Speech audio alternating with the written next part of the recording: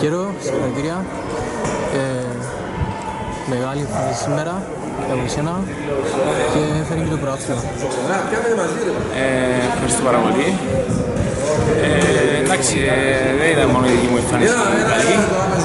Ε, ήταν ε, όλη η συνολική συνεργασία ε, που βοήθησε στην ε, κατακτήση του πρωταθλήματος. Γι' αυτό αξίζω συγχαρητήρια όλοι οι παίχτες.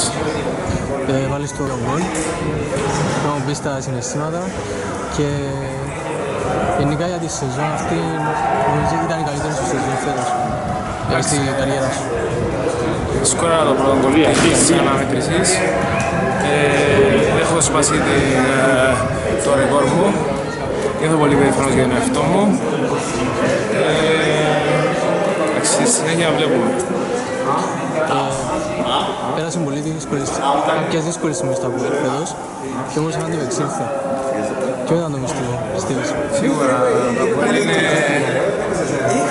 είναι και θα είναι καταδικασμένο για να παίρνει τίτλους. Ε, ξέρω ότι είναι πάρα πολύ δύσκολο μετά από ένα-δύο παιχνίδια μέσα στο ACP που, που είχαμε με δύο ήττες. Ε, αξιολογήσαμε ε, τα πράγματα, προσπαθήσαμε να μην κάνουμε άλλα λάθη και σιγά σιγά να παίρνουμε τα τρίποντα που, που θέλουμε. Ε, ποιο γκολ από όλα αυτά που βάλεις ξεχωρίζεις περισσότερο ή αν μερικά που ήταν τα πιο κρίσιμα ή τα πιο... Σίγουρα τα πιο κρίσιμα ήταν τα, και τα πιο ωραία μου.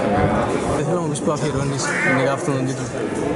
Ε, αφιερώνω τον τίτλο αυτό ε, πρώτα στον εαυτό μου. Ε, μετά στον υπέροχο κόσμο του ΑΠΟΕΛ